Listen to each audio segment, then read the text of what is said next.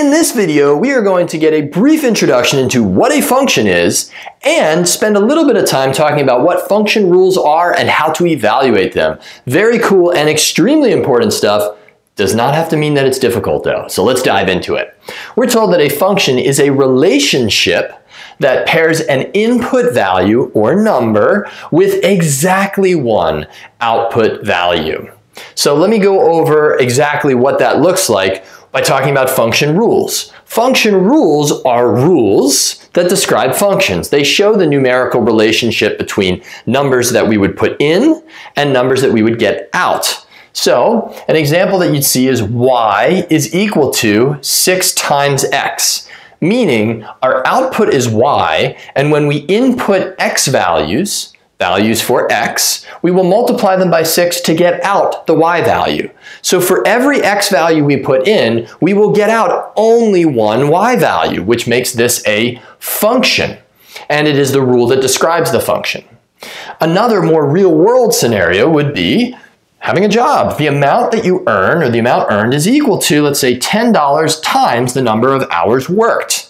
As abbreviated algebra, that would be A for the amount earned is equal to 10 times H. Again, for every hour amount we put in, we will get out a different, but only exactly one amount output value. That makes both of these functions. For instance, if I put in the number 1 for hours, I'd get 10 times 1, and that equals out to 10. If I plug in 1, I don't expect to get out anything else besides 10, and that makes this a function. Here, if I were to plug in negative 3 for x, negative 3 times 6 is negative 18 is my output. I will not get out any other number when I plug in negative 3 except negative 18, making that a function. And these are, again, rules that describe the function because a rule is what we follow, what we use to describe a situation, right? Or to give us out, in this case, numbers. Very cool. So here we are now going to do what's called evaluate function rules. So it says evaluate y equals negative 2x plus 1 for x equals 0, 1, 2, and 3. Okay, how do we do that? It's not so bad. And I'm gonna actually spin around this way. I got myself turned around. So to evaluate, that literally just means plug in. So a lot of people like to organize themselves with tables. I'm gonna show the work to the left and then we can put everything to the table to the right here. So our inputs are our x values. So that'll be x and our outputs are our y values. So think that this is input, what we're putting in, and this is output.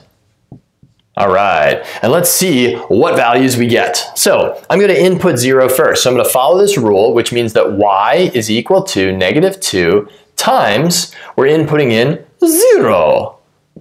And then we're going to add one. Negative 2 times 0 is 0, plus 1 is 1. It's as simple as that. So I input 0, and I got an output of 1. We're going to do the same thing now for 1. y equals negative 2 times 1. We're going to add 1 to that because that is what the rule tells us to do. We simplify now using the order of operations. Negative 2 times 1 is negative 2, plus 1 is negative 1. So I input 1, and my output was negative 1. Sweet. Let's do two more. y is equal to, my input is positive 2. I will add 1 following the rule. All I'm doing is inputting in for x here, the value, that we're told to input. And we get out negative 4 plus 1 is 3. And I should say that's negative 3. Negative 2 times 2 is negative 4 plus 1 is negative 3. So our input was 2 and our output is negative 3. Last but definitely not least, fact it's the most here, is 3. So we input 3 in for our input variable x plus 1 our output is, well, let's see, negative 2 times 3 is negative 6, plus 1 is negative 5. So we input 3, output is negative 5. Notice a couple of things here. First, notice that for every input value we have, there was only one y value that went with it. For instance, when we plugged in 1, we only got out negative 1. No other number was a result of plugging in 1, and no other number will be a result of plugging in 1, except for this exactly one value. That makes this a function. Second thing to notice is, for every one value we go up in the x direction, we went down two values in the y direction. Hmm, I bet that had something to do with this negative 2 times each x. Oh yeah, more on that in a later video. That's all I've got for you peeps. If you need a little bit more practice with this, I've got two or three problems on the flip side of this video as bonus coverage. Otherwise, we've covered what we needed to cover. But if you need that extra practice, stay tuned.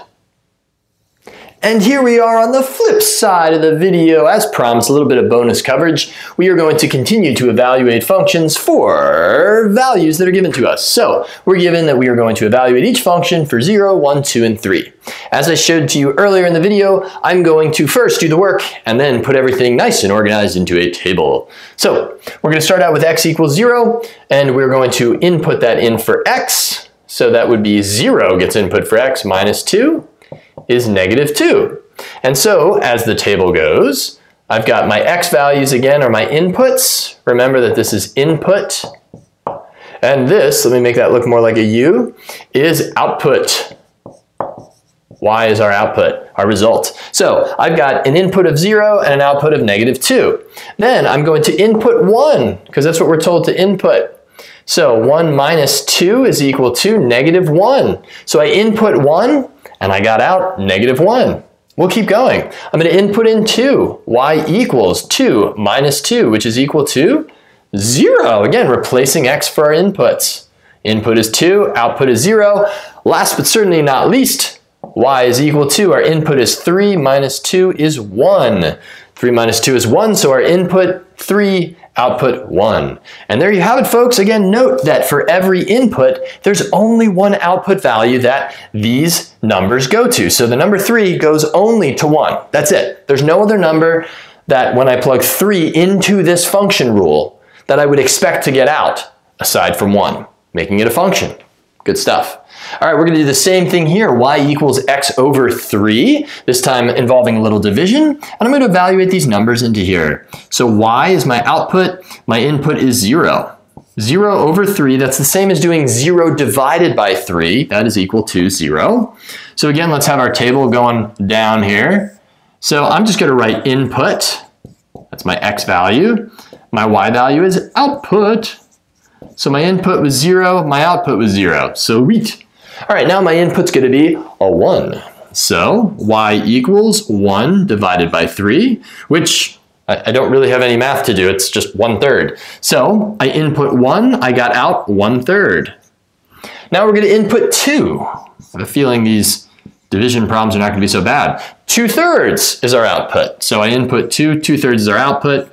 Your teacher might want you to use a calculator, in which case you could divide 2 divided by 3 and round to whatever decimal they want you to round to.